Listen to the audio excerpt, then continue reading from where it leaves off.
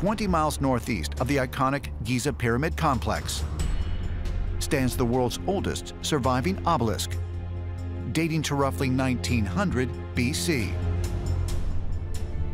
Originating from the Greek obeliskos, meaning pointed pillar, an obelisk is a tall four-sided narrow tapering monument which ends in a pyramidion at the top. In Egypt, hieroglyphs were carved into all four sides, and they often recorded battles, special events, or the history of the region. The obelisks of Egypt were erected maybe centuries after standing stones like the ones in Carnac in Brittany. But they're monoliths, too. One solid piece of stone. The obelisks of Egypt, too, are made of red granite. And red granite is a very special kind of granite. It's infused with tiny quartz crystals. And this gives the obelisk a certain type of energy. And the ancient peoples were aware of this energy that was coming out of the obelisk. They actually thought the obelisk was alive. And this is very reminiscent of the ancient standing stones that are even older. Is it more than mere coincidence that the Egyptians erected monolithic stones that were rich in quartz crystal? Just like ancient cultures in other parts of the world did thousands of years earlier. Had they discovered the secret of the ancient standing stones and their power to harness the energy of the Earth? Ancient astronaut theorists say yes and point out that the Egyptians believed the obelisks provided a profound connection to the gods. The obelisk itself, like a cathedral, lifts up into the heavens. It is pointing to the heavens. It is a connection to the gods. And at the top of an obelisk in ancient Egypt, there was a special stone, the capstone, the pyramidium. It was the shape of a pyramid. It was made of specially fine granite, polished uh, with some uh, hieroglyphics, but the main detail was it was brightly gilded in pure gold so that the sun would bounce off that and beams would glow from miles around. It must have been dazzling. This was the point of contact between humans and the gods. This was how we communicated with the gods through that stone. You'll see the top of the obelisk reaching into the sky. They think of it as a sort of a, an axis mundi. It's a, it's a way of connecting Earth with the heavens. Egypt was given, according to ancient texts, the powers of heaven. Egypt became a mirror of the heavens. And that the powers that are found in the heavens are found on Earth, in Egypt, as above, so below. Mainstream scholars interpret this connection to the heavens as purely symbolic but ancient astronaut theorists suggest that the obelisks were recreating the technology of another world, and that these giant stone pillars were part of a vast wireless energy grid, one that also incorporated the power of the pyramids. It's a fascinating idea that, like we would charge a phone on a charging pad just by placing it there, these extraterrestrials can recharge their own craft off of these standing stones and obelisks. You have to wonder whether pyramids had exactly the same purpose. Could there be even more highly advanced technology, way beyond any technology that we even know? A lot of people don't realize this, but Tesla's original design for the Wardenclyffe Tower was actually to be the same height as is the pyramid from the base to the tip of where that conductor piece used to be on top of the pyramid. And at the time he was building it in the 1908-ish time frame, J.P. Morgan had an expedition in the pyramids and were sending information to Tesla while he was working on the Wardenclyffe Tower. Nobody knows why and what the results of that was and to what end, but it seems suspect that Tesla wanted to do something with wireless transmission of power from a system that's the same height as the pyramids. Do they believe that that's what the pyramids were for? The walls of the Great Pyramid, like the obelisks, contain a high concentration of quartz crystal. Could it be that this massive monument, in conjunction with other ancient structures, made up a global wireless energy network? by placing some of these obelisks and standing stones around the Earth in combination with pyramids. If you have the correct technology, you can use that energy.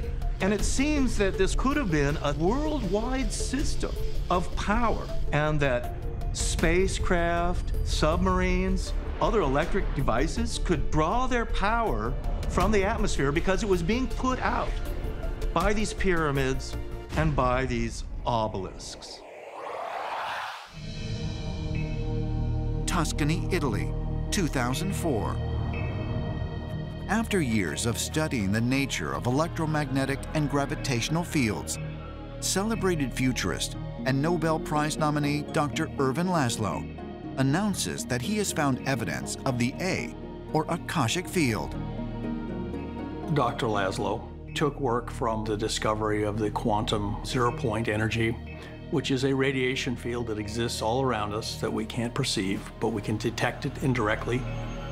It's very solid theoretically. It was first discovered by Einstein. So we know that the zero-point energy exists, and it carries a lot of information about the universe in it. Laszlo proposed that this didn't carry just a physical information about the physics of the universe, but also it contained intellectual information. According to theoretical physicists, zero-point energy is an all-pervasive sea of quantum energy waves that is invisible but exists throughout the universe. The fabric of space itself is made of energy and information. And the way this information propagates through the universe is through waves. We call that quantum waves. And so the Akashic field is made of quantum waves that are common to all intelligent life. This means that all human brains, extraterrestrial brains, any sort of otherworldly beings also are tapping into similar quantum waves. This idea of an intelligent informational field that we can access with our consciousness is not pseudoscience, it's not superstition, it is a basic fact that our scientists are finding out is really true. Nearly two decades prior to Laszlo's discovery, Nobel Prize winning physicist Richard Feynman published his groundbreaking work in quantum physics, The Strange Theory of Light and Matter. In it, he explored the idea that electrons in our brains can be activated and informed by quantum waves, affecting our thoughts and subconscious. So, Richard Feynman talked about the quantum entanglement theory and the idea that you could have subatomic particles at any distance whatsoever and they could affect each other, where information can be sent uh, at great speeds, uh, instantaneously, actually. The human brain is full of electrical activity that creates radiation that a very sensitive radio receiver could pick up, and other minds other places would also be able to send such waves. Feynman found from the idea of a quantum field of information, an electron moving in our brains could be receiving radio signals from the past, but to compensate, it must also receive waves from the future. Now, this means that every electron in our brains is actually a receiver information could traverse to any part of the universe instantaneously, this could mean that intelligent civilizations could send complex information to us. By quantum wave propagation or other means, they could very much be nudging society along through people having apparent visions, which could be nothing more complex than a radio broadcast, some sort of thought transference through the Akashic Record. Baalbek, Lebanon. Here, in the fertile Bekaa Valley, stands what many consider to be the greatest ruin of Roman antiquity, the colossal temple of Jupiter. But the imposing remains that tower over the site today are only the latest in a long line of structures erected on this spot. Archaeologists say the area has been continually inhabited for at least 10,000 years. And no one knows who built the first place of worship here. But according to legend, both Egyptian and Assyrian conquerors erected sanctuaries on the site, followed by the Canaanites and Phoenicians, who built a great temple here to their god Baal around 2500 BC. Baalbek is one of those places where you have different people over millennia building their shrines, their temples to their particular, you know, gods or goddesses. You've got this temple that's built by the Phoenicians for one of their deities, Baal. Then Alexander the Great conquers this area and surprise, surprise, builds a temple to the Greek gods. In the first century BC, roughly 300 years after Alexander the Great, the Romans conquer Lebanon and decide to erect a temple here to their chief god, Jupiter. The main Roman temple once boasted 54 columns, each a staggering 65 feet in height. But while visitors to the ruins may first notice the towering Roman columns, the most impressive feature at Baalbek is its massive foundation. To this day, Baalbek, Lebanon has remained one of the most enduring mysteries on planet Earth. Because the masonry that we find there is unparalleled compared to the rest of the world. In fact, there are three stone blocks called the trilithons, each weighing approximately 800 metric tons, which is 1.6 million pounds. Each of these blocks is approximately 62 feet in length by about 14 feet in depth and 12 feet in breadth. And they're not even on the ground. So whoever placed them there in ancient times would have had to have raised them up to a height of about 20 feet. Each of the stones were quarried two miles away and put perfectly into place with such precision that you can't even put a credit card or a needle in between those massive blocks. How ancient people carved and moved such massive stones is a question that baffles archaeologists to this day. And equally as mysterious is who placed them there. Giant blocks in the foundation are clearly of a different building style than the temples that sit above. And in my opinion, that platform is not just ancient, it is prehistoric. But if the platform at Baalbek was constructed thousands of years before the Romans arrived in the Bekaa Valley, why did they choose this as the site to build their most magnificent temple? One pioneering Russian scholar has proposed that humans may have been drawn to this location because it was the site of one of Earth's earliest extraterrestrial events.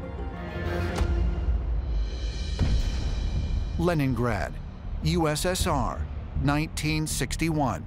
Scientist and mathematician Dr. Matest Agrest sends shockwaves through the world of academia with an article in which he poses a new theory called paleocontact, a precursor to what is known today as the ancient astronaut theory, suggesting that certain biblical texts could be interpreted as evidence of alien visitation.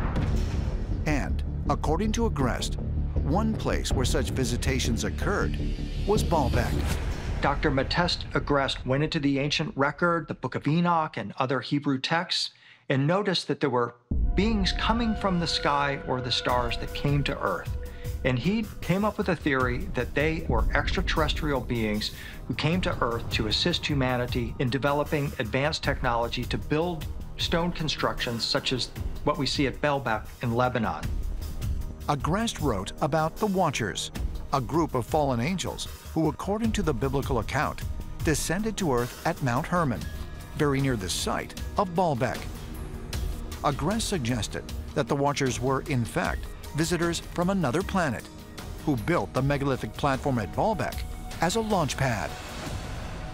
He thought it was a giant stone platform that spaceships could land on and take off from. And this makes a lot of sense because it's so incredibly solid with these huge stone blocks in it that even huge vehicles, such as rockets, could land and take off from this huge platform. Two decades after the publication of Agrest's controversial article, author and researcher Zecharia Sitchin came to the same conclusion about Baalbek based on a 5,000-year-old Sumerian text. The Epic of Gilgamesh tells of a hero of superhuman strength who embarks on an impossible quest. In the course of his journeys, Gilgamesh arrives at a site where he encounters otherworldly gods, a site that sounds suspiciously like Baalbek. In the Sumerian Epic of Gilgamesh, which is one of the great and important legends um, of human history, we have the hero arriving in a place known as the landing place. The space which allows the ascent and the descent of beings from the heavens to the earth. Zecharia Sitchin in the 1970s proposed, based on his reading of the Epic of Gilgamesh, that Gilgamesh himself had seen some sort of a spacecraft take off from a landing site and pinpointed that site as Baalbek. Deeper in the Susa Valley of northern Italy, Nomo Orzo takes William Henry to a Roman archaeological site called Il Maometto. But what he wants to show him is something hidden in the woods nearby that predates even the earliest identified Roman ruins. Wow, Nomo. Look at this. Look at this incredible, incredible platform. Yeah, huge wheels uh, surrounded by a lot of very ancient walls. You know, I've seen something like this before in Egypt, at Abu Ghurab. Wheels just like this on this massive platform, quartz crystal embedded. It's like a landing platform. Yeah. Approximately 10 miles south of Cairo, the ancient site of Abu Ghurab contains massive circular alabaster platforms. Local tradition holds that this site is one of the oldest ceremonial centers on the planet and that the alabaster platforms created a harmonic resonance through sound vibrations to open the senses to communicate with divine energies. When I came upon this platform in the middle of this forest, it took me back to Egypt, where you see massive stone altars like this. For example, at Abu Ghurab, that have exactly the same stone wheels in the center. And I'm thinking, this proves the Egyptian connection too. This is a, a common symbolic element that almost always connects with extraterrestrials. For William Henry, the wheels also present another intriguing possibility. He believes that they may have been made to commemorate the foundational story of the city of Turin, in which it is said that an otherworldly being called Phaeton descended from the sky in a fiery chariot. In the story, the craft in which he descends to Earth is described as having wheels. But it is also said that he brought with him so-called wheels of knowledge. The myth tells us that there was some kind of a craft that came into this area, and they describe wheels that Phaeton left. Wheels of knowledge? Is that what we have here? Wheels that match what we saw with the spirals on the rock of this extraordinary knowledge encoding the secrets of light itself. It's an incredible mystery. It's an incredible mystery. Right away, I think of the golden wheels of the, the solar discs in the Aztec and Inca cultures. We know that they were great circles and that on them would be engraved all sorts of knowledge, all sorts of information, astronomy and another mythology would be encoded into the surface of the disc. Now, could it be that at Musinè we have exactly the same thing happening, that we have this great golden wheel upon which is all of this information? Might the ancient wheels carved into the rock at Il Maometto be just the tip of an historical iceberg, a sign of the lost ancient city buried beneath the ground? We enter into this valley where what do we find? These ancient myths of a civilization that might have had some extraordinary knowledge that they're trying to protect. And we come into here and look at these walls, more ancient than ancient Rome. Yeah, something that is clear only for people that they can really understand that very ancient story and really cold, yeah. We've seen Valcamonica with these incredible depictions of spacemen on the rocks, thousands of years old, absolutely amazing. Then we come through the gates of Muzinets, where Constantine saw this flash of light, the heavens open. And across the valley, we have Sacra San Michele, where the monks saw the light as well, an extraordinary complex there. It's telling us that there was contact in the ancient world at this place. For some reason, people have been coming into this valley. They're attracted by something here for a very long time and talking about these amazing mysteries and knowledge. Yeah, like, you know, maybe the synchronic lines that they uh, send and receive energy from all of the planet and universe. Here, they're very tangible, and that's amazing.